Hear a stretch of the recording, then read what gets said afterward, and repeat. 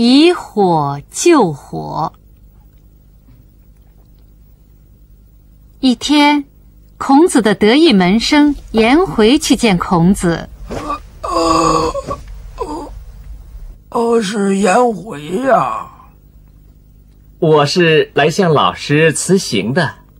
哦，是这样啊。你打算到哪儿啊？我要到魏国去。我听说魏国的国君在滥用国家的权力，不顾百姓的死活，而魏国却没有人指出或帮助他办好国家大事。我想本着治病救人的精神去给他当个医生。哎，你这样去不等于送死吗？我这为什么呢？你是想，如果那位国君肯听贤臣的忠言，那何必要你去呢？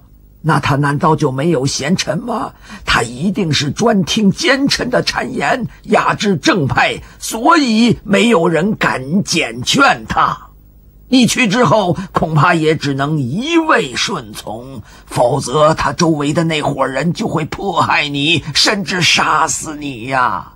所以你还是不去为好。再说，你去了之后，如果不能劝他改正错误，就等于同意他作恶。是他的罪行又得到多一个人的默许和支持，这样是以火救火，以水救水，怎么救得了呢？只能越救越严重了。